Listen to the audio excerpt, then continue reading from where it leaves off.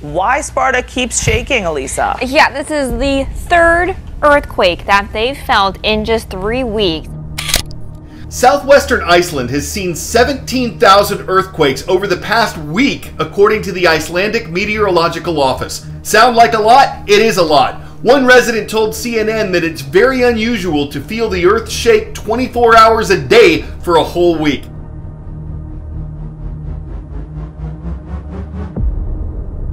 And while scientists don't know exactly what's caused this swarm of quakes, a University of Iceland volcanology professor thinks they might be because there's been a quote, intrusion of magma into the Earth's crust in southwest Iceland.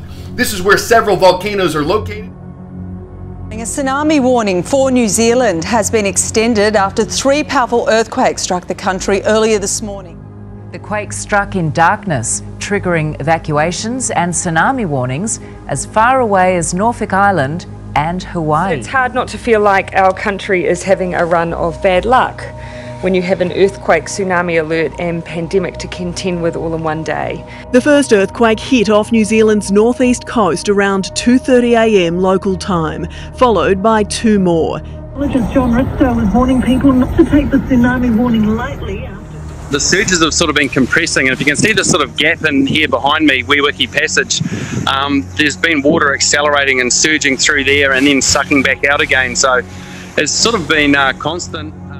You may have woken up to a shaking house, perhaps, due to a 2.3 magnitude earthquake. It occurred just after 6 o'clock this morning. Yeah, a bit of a rude awakening for many. Many across the Salt Lake Valley took to social media. University of Utah seismologist Jim Pechmann says Sunday's earthquake was just one of more than 2,500 aftershocks since the Magna earthquake last year. So, yes, we still do have aftershocks going on. He says the aftershocks have ranged from magnitude 0.5 to 4.6. 40 of them have been magnitude 3 and larger, and there's been 117 of magnitude 2.3 and larger. So the comparable to or larger than uh, the aftershock this morning. I've been here 29 years in, in Utah and in, in Magna, and I've you know, up until last year, never had any experience with an earthquake. With the thousands of aftershocks since last year, many are worried the Salt Lake Valley's fault lines are more active than normal. Fox 13's Diego Romo spoke with a seismologist at the University of Utah who says it was one of thousands of aftershocks from last year's quake. I think it was like 601, and I, I felt this this roll kind of come across, and uh, I mean, it only lasted probably two or three seconds, maybe. I don't know. It seemed like it lasted longer. And although Sunday's quake pales in comparison to the 5.7 magnitude tremor that rocked the Salt Lake Valley almost one year ago, Taylor says it was still a shocking experience. You kind of get used to them, but now it's been a few months since we've had any any shakes, and so this was kind of a uh, you know a starter this morning, kind of kind of a get your heart pumping, heart pounding.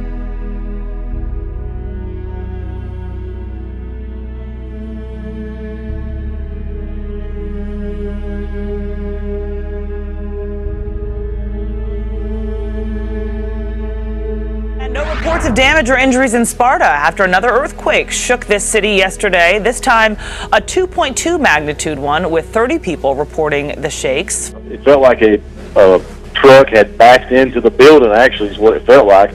Uh, and that preceded by a, uh, a loud boom like and it really just shook the whole building up here. That's Sparta Mayor Wes Brinegar describing Thursday's 2.2 magnitude earthquake, the city's third quake in just one month. They've been feeling many smaller shakes after a big earthquake struck last August. The 5.1 magnitude was one of the strongest earthquakes to hit North Carolina in 100 years. Randy, a bit of breaking news overnight, some kind of earthquake situation in West Hartford. I thought that was a mistake, but you're looking into it. What did you feel that rumbling overnight? It was not a bad dream. The U.S. Geological Survey says a 1.9 magnitude earthquake shook the central part of our state. So just kind of interesting to know the ground is still alive underneath us. It's something to, to, that we need to be reminded of once in a while. 6.3 magnitude earthquake hit Greece today, strong enough that it was felt in the capitals of Albania, North Macedonia, Kosovo, and Montenegro. So far, there have not been any reports of injuries, just some structural damage to old homes. Central Greece was rocked by a powerful earthquake that sent people into a panic. A worker at a clothing store in Larissa ran for cover when the racks of clothes started swaying back and forth. The European Mediterranean Seismological Center says the quake registered as a magnitude 6.2. A homeowner captured video of her chandeliers swinging from the motion. Seismologists say the tremor was felt across the country some of you may have seen this. A very bright meteor known as a fireball was captured on doorbell cameras across the country last night. There we go. Uh, the meteor was spotted shortly before 10 pm, visible for around seven seconds. It was captured on doorbell and security cameras in Manchester, Cardiff, Bath, and Milton Keynes. Oh, yeah, wowzers. I'm going to check mine because it might have been over Chester, but it was over Manchester, mightn't it? That's quite impressive, that, isn't it? Absolutely. Well, I could watch brilliant. them for hours. Alrighty, a mystery overnight from Browns quarterback Baker Mayfield. He thinks he saw a UFO, and he's not the only one. His wife Emily apparently saw it too. Baker took to Twitter just before midnight saying that he saw a quote, very bright ball of light going straight down out of the sky. He said it happened near Lake Travis in Austin when he and his wife were heading home after dinner. 20 minutes later, Emily followed saying, What was that in Austin, Texas? Emily also said she was a bit thrown off and that she's not typically into UFO talk, but all she knows is she saw something that she's never seen. They were in Texas coming home from dinner, and that's what they thought. Caught my attention. It also caught the attention of our favorite observationist here at What's New, Mike Polk. So, as we expect, Mike attempts to interpret, and that's the words, attempts to interpret what these UFOs could mean for Baker Mayfield and his future with the Cleveland Browns. In a strange incident, several people in Punjab's Ludhiana claimed that they saw an unidentified flying object in the sky. The shiny, unidentified object became a source of intrigue and excitement for many as residents captured videos of it and shared it on social. Video that went viral, an object with shiny lights can be seen. However, there is no concrete evidence of it being a UFO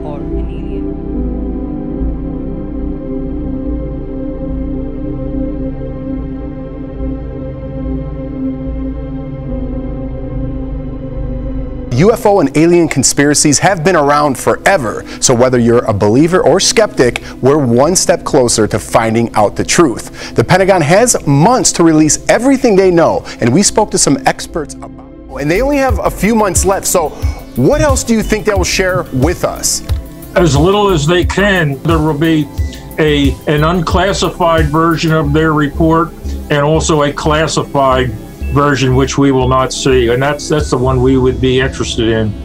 Yeah, I, I don't understand why they wouldn't release that information. I just watched a documentary about how presidents throughout history wanted to get this information out. What politician is going to go before the American people and make such a pronouncement and still get reelected?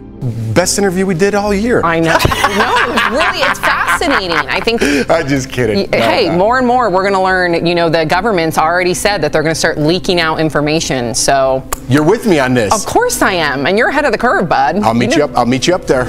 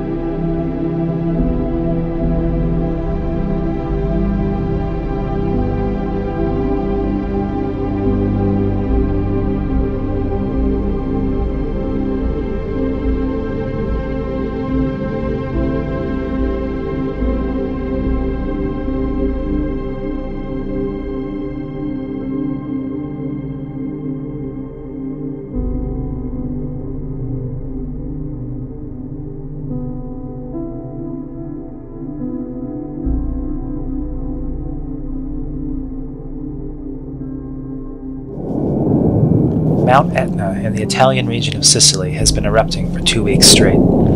This isn't so unusual for Etna, which is Europe's most active volcano and almost always in some state of eruption. But this series of blasts, which began in late February, have been particularly stunning.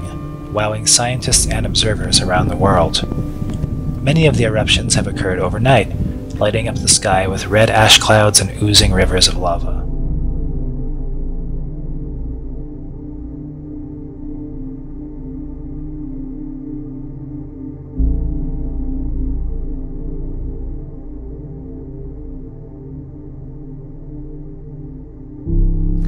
An iceberg the size of Greater London has broken away uh, from the Antarctic. The split was detected just 20 kilometres from Britain's Halley Research Station on the Brunt Ice Shelf. Scientists who've been predicting such uh, an event for months say they'll use satellite images to track the iceberg and to monitor instabilities. uh, on the Friday, remaining February 26, a huge iceberg larger than the size of New York City broke off of the main ice shelf, which happens to be almost 500 feet thick. Again, however, this did not come as a surprise to the scientists. Here you can see that crack in that 500 foot ice shelf. I think it's the size and scale that kind of is mind blowing for all of us. That really puts it in perspective. Yeah, It does. Thank you so much.